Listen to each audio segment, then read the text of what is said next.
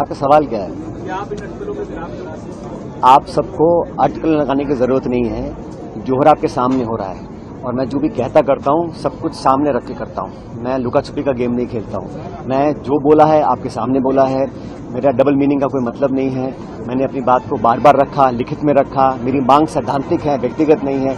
और पद की आशा और बहुत ज़्यादा आकांक्षा आ, कम से कम मेरे पे को आरोप नहीं लगा सकता। भगवान ने बहुत कुछ अब तक दिया है देखने सीखने को। बड़े पदों पर हम लोग रह चुके हैं और हमारी पॉलिटिक्स के बारे में सब लोग जानते हैं। आ, कोई मेरा घोर विरोधी भी हो तो वो उंगली नहीं उठा सकता हमारी निष्ठा पर ईमानदारी पर और हमारे काम करने के तरीके पर। लेकिन जो पब्लिक इश्यूज़ हैं वो तो हमें उठाने ही हैं। लोकतंत्र में लोकशाही में अगर जनप्रतिनिधि हैं तो जनता की बात तो सुननी पड़ेगी।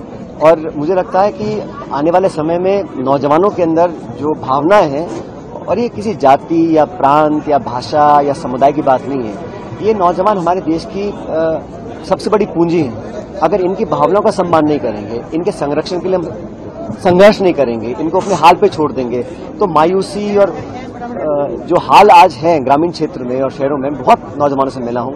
मुझे लगता है कि हम लोग अपना दायित्व नहीं निभा रहे हैं क्योंकि सत्ता पार्टी विपक्ष आना जाना चलता रहेगा। हर पाँच साल में चुनाव आते हैं। मैंने मैं आपको ये कहना चाह रहा हूँ कि नौजवानों के लिए संघर्ष करने में ना मैंने पहले कभी कसर छोड़ी थी, ना आगे कभी कसर छोड़ूँगा।